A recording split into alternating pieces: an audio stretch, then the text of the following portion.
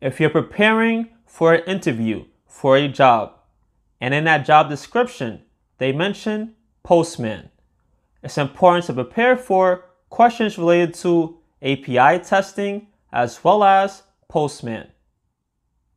In this video, I'm going to discuss some possible questions you may be asked in your interview, as well as some answers that you can reply with. First off, what is Postman? Postman is a popular API client tool used for testing and interacting with APIs. It allows users to send HTTP requests, view responses, and organize and automate API tests. Can you explain some of the main features of Postman? Postman offers features such as API request building, testing, collaboration, and automation. It provides a user-friendly interface for creating and managing API requests. What are the main different types of requests you can send using Postman? In Postman, you can send GET, POST, PUT, PATCH, DELETE, as well as other HTTP requests. Next, can you talk about collections in Postman? Collections in Postman help you organize and group related requests. You can add different requests to a collection. That collection can then be shared throughout your team. Explain the importance of environments in Postman. Environments in Postman allow you to define variables that can be used across requests. This is useful for testing in different environments, example, development, staging, or production, without having to change request URLs manually. How do you parameterize requests in Postman? You can use variables to parameterize your request. These variables can be defined at different scopes, global, collection, environment, etc.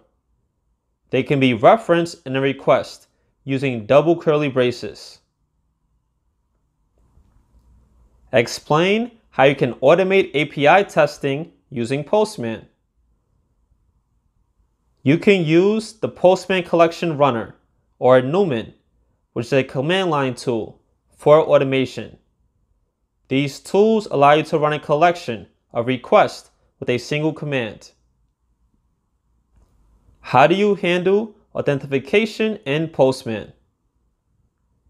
Postman provides different types of authentication like basic auth, OAuth, and API key. You can set these up in the request settings. Can you integrate Postman with CI/CD pipelines? Yes, Postman can be integrated with CI/CD tools like Jenkins, TeamCity, or GitLab CI/CD. This allows you to include API tests as part of your continuous integration and deployment process. What is a Postman test script? Can you also provide an example of a simple one? A test script in Postman is written in JavaScript and is executed after a request is sent. It allows you to validate the response. For example, PM test, PM standing for Postman, dot test, and then status code is 200. This will be the name of our test. We then have function and then our actual test. Postman response to have status of 200. Quick break. If you're enjoying this video so far, please leave a like and subscribe. Also, if you need help on your software testing journey, check out my website, thetestinglead.com. I have books and courses to help you on your journey. Now, back to the video. What are the main HTTP status codes that you're familiar with? Here is a list of the main status codes, as well as their general meanings. Any status code in the 100 series is informational. 100 is continue. The server acknowledges that I received the request headers and the client can proceed with the request. The 200 series, success. 200 OK, the request was successful and the server is returning the requested information. 201 created. A new resource was successfully created as a result of the request. 204 no content. The server successfully processed the request, but there's no content to send it in response. 300 series, redirection. 301, moved permanently. The requested resource has been permanently moved to a new location. 302, found or temporarily redirected. The requested resource has been temporarily moved to a different location. 304, not modified. The client's cache copy of the page is still valid and the server didn't send a new copy. The 400 series, client errors. 400, bad request. The server couldn't understand the request due to malformed syntax or invalid request message framing. 401. Unauthorized. Authentication is required and the client must authenticate itself to get the requested response. 403. Forbidden. The client does not have proper authorization to access the requested resource.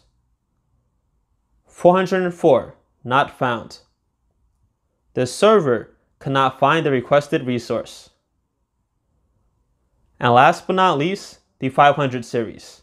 Server errors. 500 internal server error.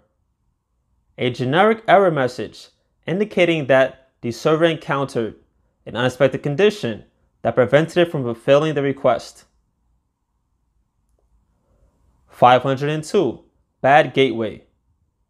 The server, while acting as a gateway or proxy, received an invalid response from an inbound server it accessed while attempting to fulfill the request. 503. Service unavailable. The server is not ready to handle the request. Common causes include server overload or maintenance. Honestly speaking, the main ones that you'll see while doing Postman testing include the 200 series as well as the 400 series. And that's it. That's a nice range of from beginner to intermediate and even a little advanced Postman interview questions. If you have any that I missed, leave them below. And I'll create a part two answering those as well. If you have any questions, comments, concerns, or suggestions for future videos, please leave them below. And most importantly, don't forget this, learn something new today.